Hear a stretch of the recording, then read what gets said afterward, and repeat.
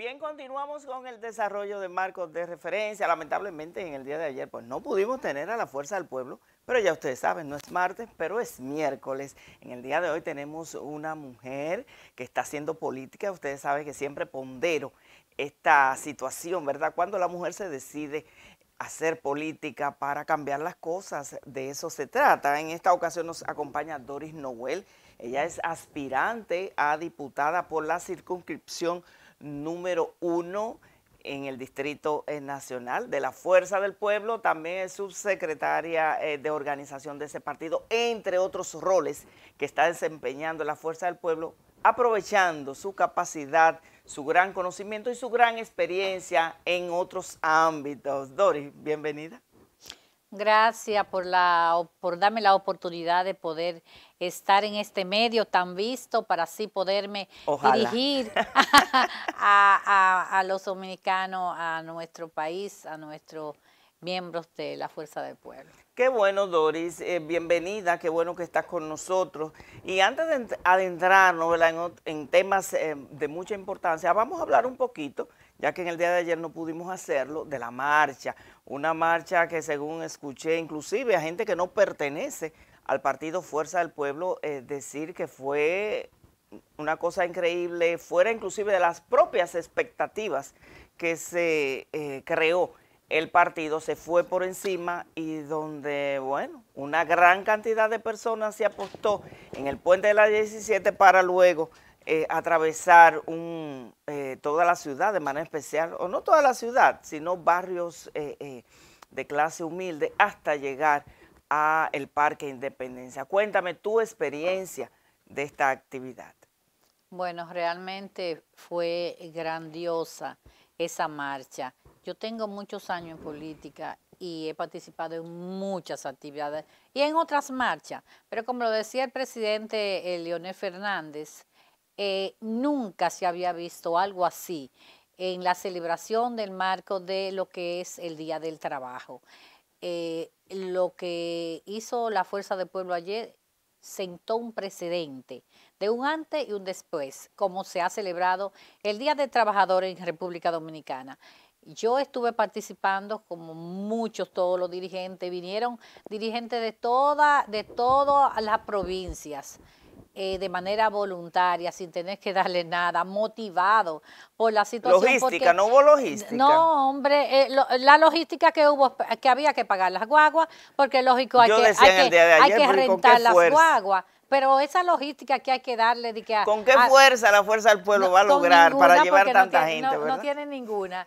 Lo único que tiene mucho, mucho deseo de sacar al PRM del poder y en vista de la circunstancia y de la necesidad, pues se desplazó a apoyar a, esa marcha que organizó muy bien organizada dentro del marco de respeto. Eso se notó de también, que no hubieron desorden, no hubo reguero. Gente con botellas de bebidas alcohólicas. Sí, nada de eso, fue todo ordenado, porque eh, hubo situaciones que ya lo decía, lo decía eh, el compañero Radamés, situaciones que se dieron que quisieron impedir eh, que se hiciera la marcha, porque el gobierno se iba a dar cuenta que la verdadera encuesta y el verdadero sentimiento se iba a plasmar en esa, en esa marcha y por eso quisieron impedirla.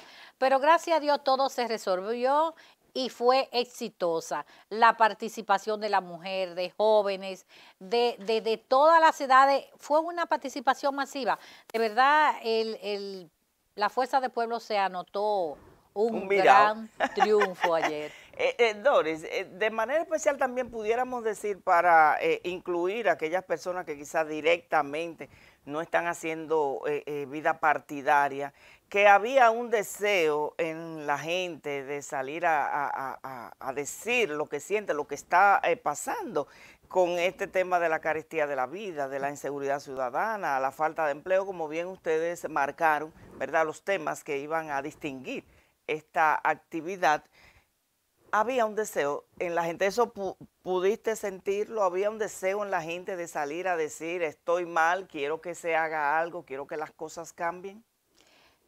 Claro que había ese gran deseo. Y te pongo un ejemplo, por ejemplo, los militares no votan en nuestro país, pero tienen su familia. Y en todas las áreas, no solamente en la Policía Nacional, en sentido general, eh, son mal pagos. Y te pongo ese ejemplo porque al ellos no votar, pero su familia sí. Todo el que está en una situación de calamidad, que está padeciendo la situación económica de que no puede manejarse, está lleno de lío, eh, los supermercados es una casa del terror, en los barrios, los colmados hacen una función enorme porque la, la gente, los obreros se van a trabajar, pero el colmado le fía, porque al final de la jornada o al final del mes o la quincena, ellos vienen y le pagan su dinero. Pero ¿qué pasa? Es tanto el alto costo de los artículos de primera necesidad que ya ni siquiera le quieren fiar en los colmados porque el sueldo no le da. Entonces es una necesidad, es un clamor de todo el mundo. Es más, la gente, los obreros, la persona pobre, la persona de los barrios marginados, se sienten feliz y agradecidos que la fuerza del pueblo hiciera una, una manifestación como esa, para ellos participar y entonces ellos demostrar con su participación la inconformidad de, la situación de la carestía. Señores, uno, uno, pie, eh, uno tiene que ponerse en el zapato de, de, de los que menos pueden si tú que más o menos trabaja y tiene ciertas eh, facilidades, está desesperado, que debe el carro, que debe el préstamo del banco, que... Sí, cada quien a su nivel. Que cada quien en su nivel tiene un problema, excepto los millonarios, los que están en el gobierno y la oligarquía de este país, no lo están sintiendo, pero la verdad, la manifestación fue enorme. Mira, yo estuve conversando con una joven que me dio tanta pena, que le prometí que ibas a ayudarla con la diputada de la circunscripción eh, número 3, que esa jovencita fue una silla de ruedas y yo le pregunté, eh, de esas que tienen un motor, y yo le pregunté, ¿con quién tú andas? Me dijo, sola. yo vine a manifestarme porque la situación es grave. Los, los medicamentos que yo necesito no lo puedo adquirir porque los medicamentos de alto costo no están, el gobierno se ha descuidado grandemente. El problema para mi alimentación, solicité la tarjeta que y, tampoco. No, eso, eh, la tarjeta es un tema. Ese es un tema. Y, y yo le dije, pero tú andas sola, que sí, me arriesgué y andes sola. Bueno, le, le grabé un videito que te lo voy a enviar después para que lo, para que lo pueda poner. Pero la verdad fue grandioso esa marcha. Eh, Doris, eh, mencionaste la palabra colmado, el fiao, a propósito, así rápido para tocarlo, a propósito, ya que mencionaste el tema colmado, ¿qué te parece esta nueva iniciativa del gobierno que ha lanzado un programa a comer del campo al colmado, donde unos 16, me parece, productos van a estar llegando supuestamente a un precio eh, módico, eliminando eh, las cadenas de distribución que regularmente eh, son las que llevan los alimentos a los puntos donde la gente lo puede adquirir. ¿Qué te parece? ¿Tú crees que es viable que pudiera resultar? Bueno, yo creo que son de tanto, tantas de las iniciativas que el gobierno ha hecho que fracasan. Porque vamos, vamos, INESPRE, INESPRE tiene una función. Se había hablado que INESPRE eh, había hecho un programa donde estaban en todos los supermercados un, paquete eh, que costaba mil pesos. Mil pesos. Que son los, creo que los jueves de cada semana. Imagínate, la gente come una sola vez, los jueves de una semana. Pero eso, lo que tenía un grupo de disparate, y ya eso, eso no se encuentra en los supermercados. Ustedes salen a buscar y no, y no, no aparecen. Entonces, eh, Ojalá que pueda ser exitoso, ojalá que pueda llegar del campo a los colmados, a los supermercados, a la gente que lo necesita. La verdad, ojalá que eso pueda ser así, pero siempre, siempre es la inexperiencia y de mal manejo lo que ha hecho que sus programas sociales eh, todo este, sea un desastre. Porque si la tarjeta, que fue una conquista de los gobiernos pasados, de, de, ese plan social que se manejó tan exitosamente, la gente que tiene la tarjeta va a buscar el dinero y cuando va, no hay, es más, la, misma encargada, la directora, lo ha dicho, no, es que tenemos atraso con el pago, pero nos vamos a poner al día, pero por el amor de Dios, ¿cómo usted se va a atrasar con el dinero de la comida? Con esa, esa, ese disparate, usted se va a atrasar. Eso no tiene sentido. Es un tema, es un tema. Eh, Doris, antes de entrar en tu proyecto, eh, tus aspiraciones a, ser diputada por la circunscripción número uno, háblame un poquito, un poquito de toda tu experiencia eh, que has tenido en este trayecto de tu vida política, tu vida profesional, para que entonces nos adentremos el por qué ya en esta etapa tú quieres ser diputada. Bueno, como que es muy incómodo hablar de uno mismo, pero de todas maneras te digo, yo soy abogada de profesión, es mi primera profesión. Eh, muy joven fui ministerio público, mm, eh, uno, un poco tiempo, unos cuatro años, tres años por ahí, eh, muy jovencita, teniendo 24, 23 años. no me gusta mucho esa, esa área. Luego me hice diplomática, que es donde sí eh, duré mucho tiempo en el, ejercicio diplomático. Y soy eh, periodista, eh, soy editora de la revista Internacional Vínculo, que es un proyecto personal. Que hay que mostrar un poquito la revista que aquí está. Sí, entonces... Vínculos, así Vínculos, sí, es una revista editada en dos idiomas que tiene circulación nacional e internacional a propósito de, de mi larga carrera como diplomática fue una idea que nació en, ese, en esos trabajos. Estuve como su general en las Antillas holandesas, específicamente San Martín, luego me mandaron de ministra a Holanda y mis últimos cinco años estuve como ministra en Washington. Y, a mi regreso, yo soy de lo, de, de, lo destituido, destituido no, desvinculado. Ah, desvinculado. De lo desvinculado o sea, de que Tú saliste de la, de la gestión pública luego de, entrar el presidente Luis Abinader. Sí, y, y soy de lo que eh, eh, eh elevó una, una demanda en contra de, ese grupo que está de Cancillería y el gobierno como... Ah, porque no, por las prestaciones. Sí, por, la, por las desvinculaciones, sí.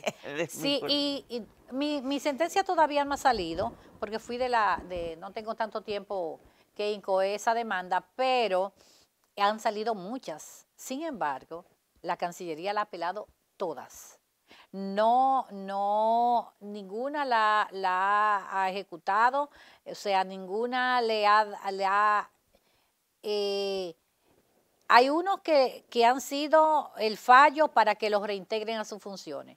Hay otros que son para que... ¿Y la ejecutan? no, eso es lo que te digo. Otros son para que le paguen sus prestaciones, pero a ningunos, a ninguno.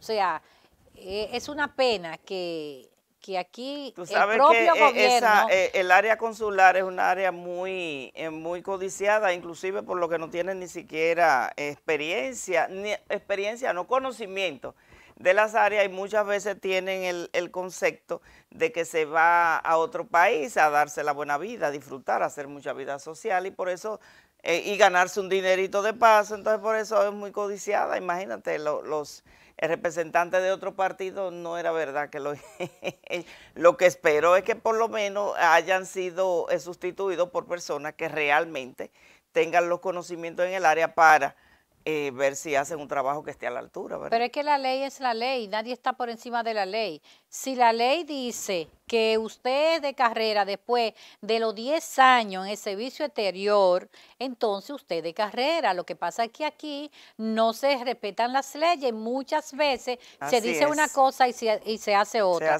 Pero déjame decirte, la gente está muy equivocada con el servicio exterior. Ahora, eh, el, el, único logro que yo puedo eh, destacar de esta Cancillería es que se, los, los sueldos se igualaron, o sea, eh, porque antes era dependiendo de quién estuviera nombrado en tal sitio. ¿Me entiendes? Ahora no, ahora todo el mundo, los ministros ganan todo iguales, los, los vicecónsules, los embajadores, evidentemente de acuerdo en el país que está.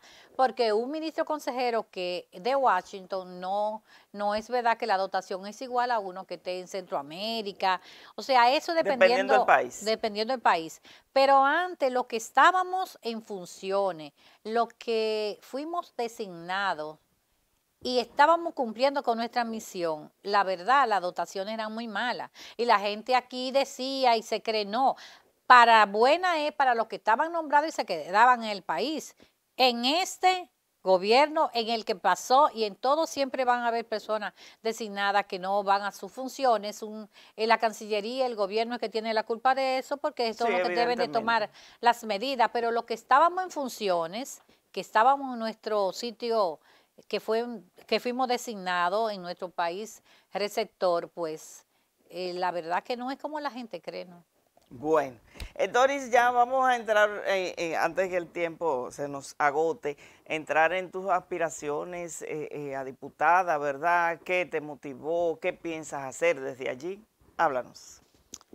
Bueno, tomando en cuenta que la, las tres principales responsabilidades de un legislador es representar a su comunidad, legislar por su país y fiscalizar el dinero del Estado.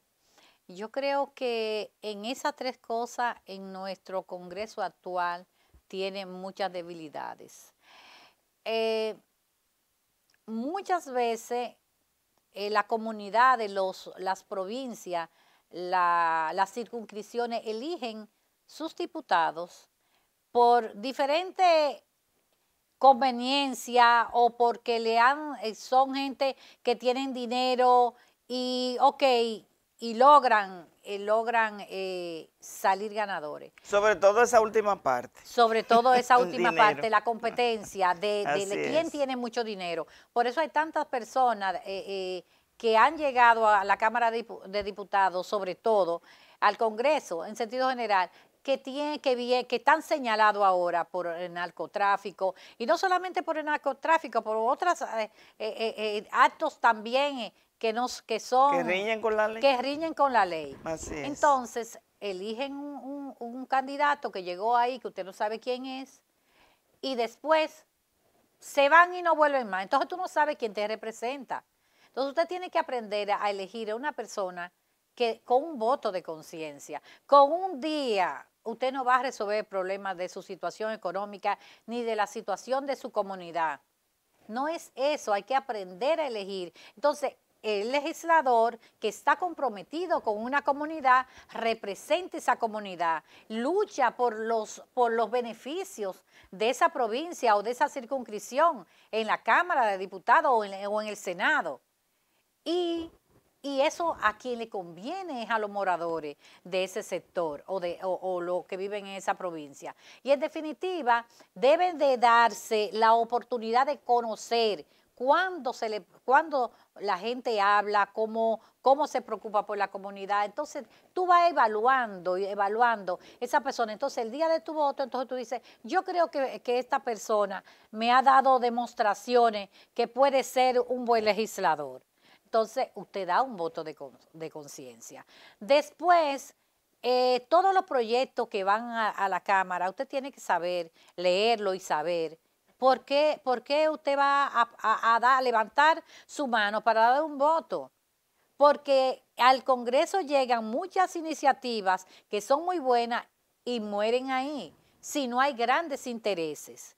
Pero también representar la línea de tu partido, qué decide tu bloque, qué decide tu partido. Entonces apoyar esas iniciativas porque tú eres un legislador que representa ese, ese partido, porque muchas veces también los partidos eligen personas que no han hecho vida política en las organizaciones, que no tienen ese compromiso con el partido, que no tienen ese sentimiento con el partido y después que ganan, pues se van con otro partido o, se declaran, eh, como dicen, que, que ya yo no pertenezco a ningún independiente, soy independiente, pero la mayoría es que, es que o pactan o se van con otro partido. Entonces los partidos también tienen que saber a quiénes llevan como sus representantes para que después no pase eso.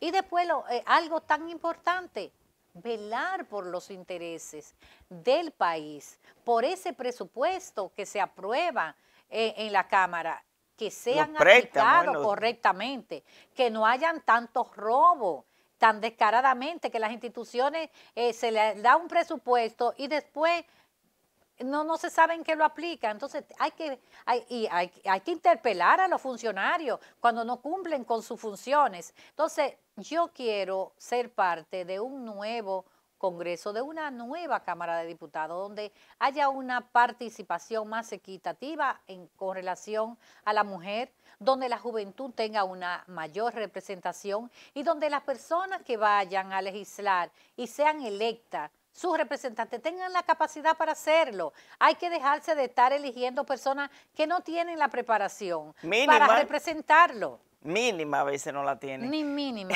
Eh, eh, pero eh, ya en sentido específico, Dori, ¿cómo va tu, trabajo de cara a, esas aspiraciones?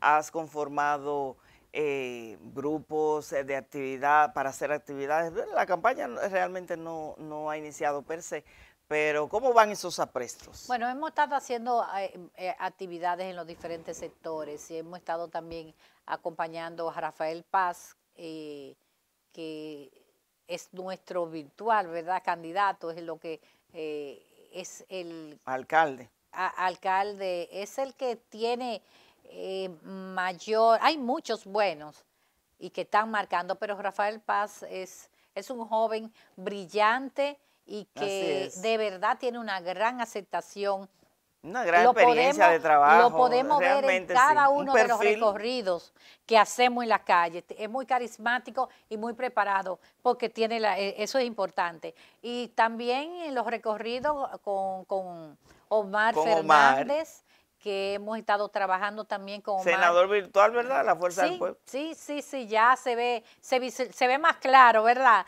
Que va a ser nuestro Está candidato. Fajado, Omar, ¿eh? eh, eh y seguro, y seguro, senador, porque eh, tanto Rafael como Omar están marcando altísimo. La capital, estoy casi segura que será completa de la Fuerza del Pueblo. Entonces nos, nos, desplazamos en, en los barrios más populosos, tanto de la circunscripción y, muchas veces lo acompañamos a otra circunscripción, actividades puntuales como de la juventud y eso, y eso de la mujer.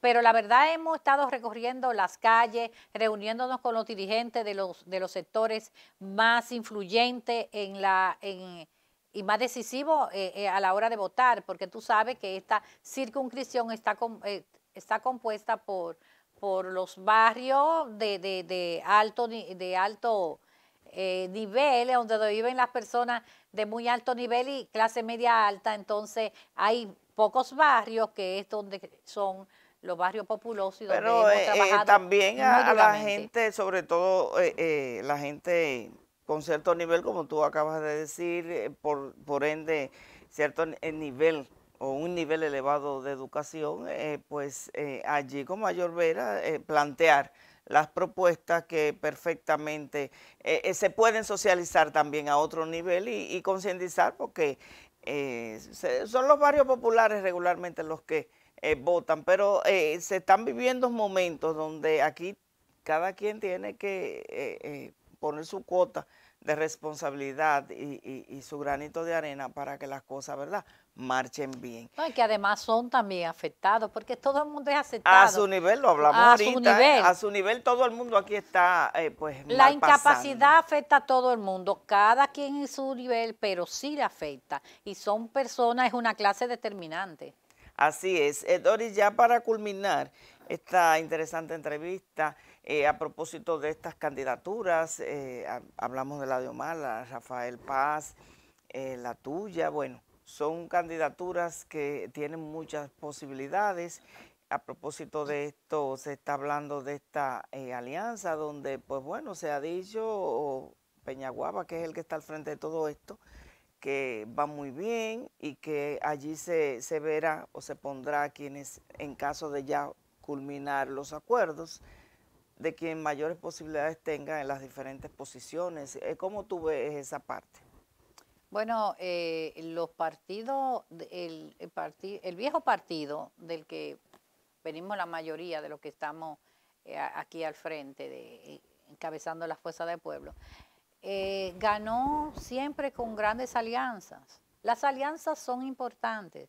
Y ya... O sea, que no hay que preocuparse tanto, eh, como eh, dicen los vinchos, tiene mucho temor a que ustedes parten con la cúpula del PLD y están tan preocupados que ya hasta don Vinicio pues se pronunció y dijo que no iba a pactar con la fuerza del pueblo.